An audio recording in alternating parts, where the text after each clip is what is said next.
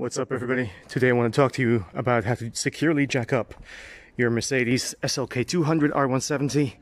Now the jack points here are actually a bit hard to find if you don't know where they are. You've got two on each side which is just behind these round covers there. This comes with a factory jack which is a pin. It exerts a lot of pressure and does a lot of damage especially if you have some rust so you don't want to use that. Get yourself a decent jack you can attach the jack just underneath these pinpoints there and start jacking up. So you've got two here. and the same applies to the other side. Now, on the back of the car, there's another reinforced point, which you actually use for towing. Uh, I don't know if you guys can see that, but that's the towing hook just right there. So, this one here, right, that's the tow hook. And that you can also use to jack up. So put the jack underneath this, it's reinforced and you can tow it.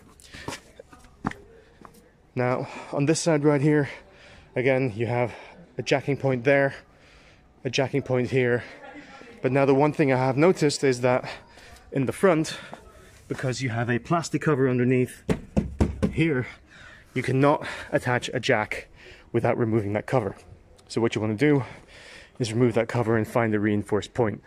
But keep in mind, those are the points right there. One, two, use those and you're good.